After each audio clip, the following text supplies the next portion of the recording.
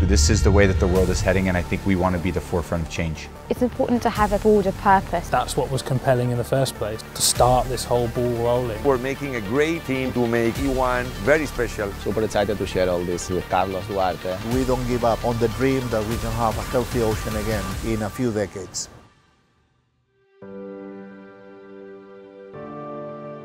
Think the similar values of what E1 is all about are things that I've believed in for a while as well. And I think the world is heading toward a more sustainably uh, conscious model of living, but as it relates to sports, you know, how can we bring these environmental aspects to what we're doing? And I think there's been a lot of conscious thought put into this championship, all the way from our travel to the boats and the things that we're going to do at the races to bring these communities together to really exemplify what they're doing in terms of conservation and environmental impact as well.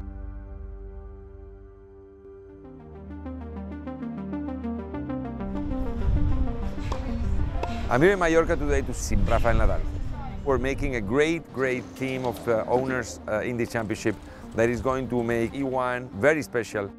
So Rafa, what motivates you to uh, join? Well, uh, first of all, the tour around the world will help to protect and to restore uh, marine ecosystems. I am super excited to, to share all these experiences with uh, Carlos Duarte. I think we're going to learn a lot and we're going to do uh, amazing, beautiful things. So uh, yeah, super excited about that and uh, can't wait to, to share all these experiences with Carlos.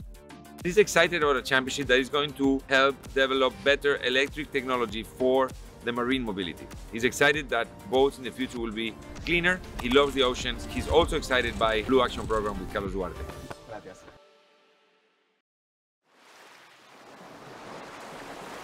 We have lost over half of the blue natural capital of the ocean. Underwater sound is a major pressure on marine life. We need to step up in our efforts so we can have a healthy ocean again. My name is Carlos Duarte. I'm a professor of marine science at King Abdullah University of Science and Technology. And we are designing blue impact projects for the cities that E1 is going to raise and uh, hope that if we do things right, we might rebuild the abundance of marine life in the ocean and we can do that within one human generation, so by 2050. Our mission embeds a sustainability target. We want to accelerate the electrification of the water mobility by building a new exciting uh, sport platform and so by definition we want to address this as one of the most important pillars of our proposition. More than 50% of human population live in coastal cities, so with E1 we hope to uh, demonstrate that it's possible to restore and repair ecosystems in uh, the waterfront of cities, then they will see the challenge to rebuilding the rest of the ocean that is under far less pressure has been an achievable goal. We've been doing experiments in Lago Maggiore in Italy.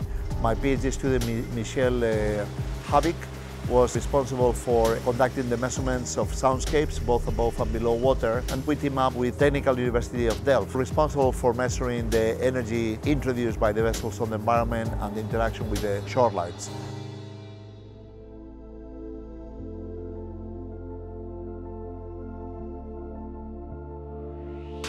So the hydrophone is measuring the sounds underwater and above the water as well. We're putting three in the water uh, along the race course. So we're going to have all the readings from the boat when it's at its fastest, when it's turning, and when it's slowing down as well. We also measure the waves and with that get an insight on what the impact of the conventional and the race boats are.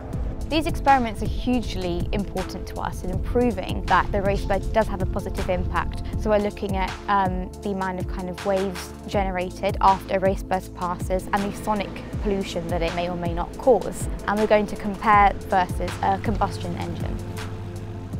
Yep. Yes, okay. Oh yeah.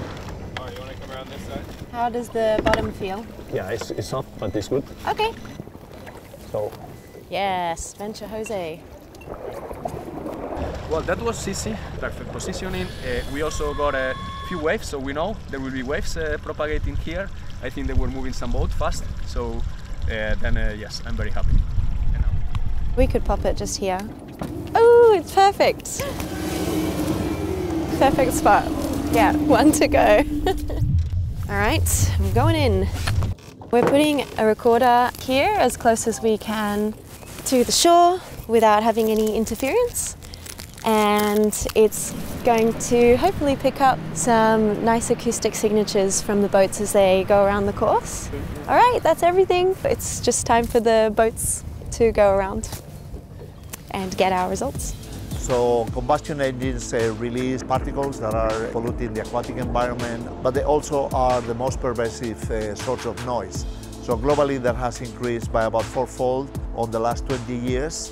So if we move to electric, we make it possible for humans to interact with the marine environment while maintaining healthy marine life there.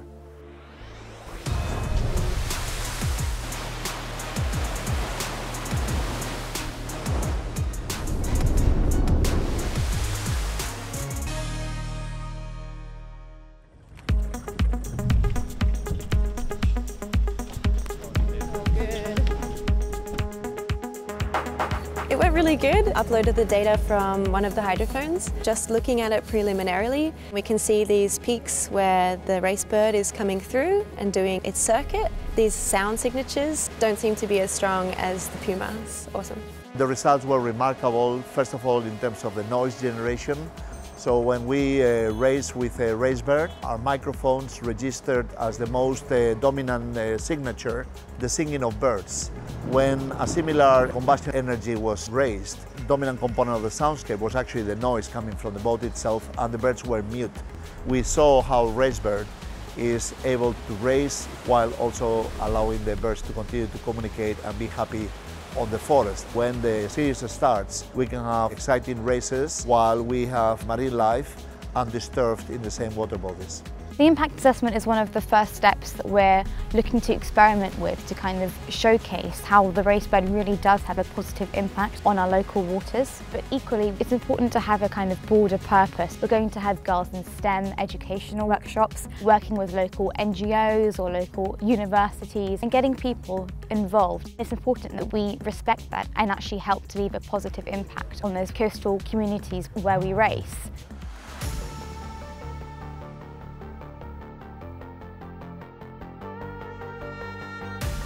The E1 desire to have racing championships in cities and marinas and close to the shore, close to the fans. Sustainability needs to be considered. Also the operation of the product. We're running an electric vehicle, so how we charge it, we can uh, make sure that the boat actually when it's running as efficient as possible such that it uses the minimum amount of energy. But then looking into the sustainability of the materials that we've been using, the energy that's needed to create those materials in the first place, doing a full sort of life cycle assessment of the boat has helped us have in mind the, the environmental impact of you know, our design decisions. That's what was compelling in the first place, to deliver fantastic technical capability as well as a show and event that people will love and be considerate to the world ahead.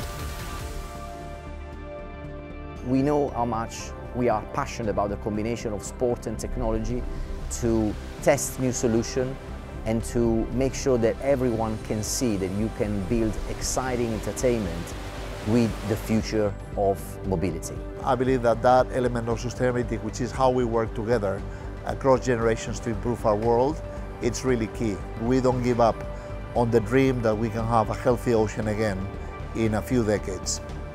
We're stewards of this great place that we live, and we're here to not only achieve these personal goals, but also to leave the world a better place than when we came into it. This is the way that the world is heading, and I think we want to be the forefront of change.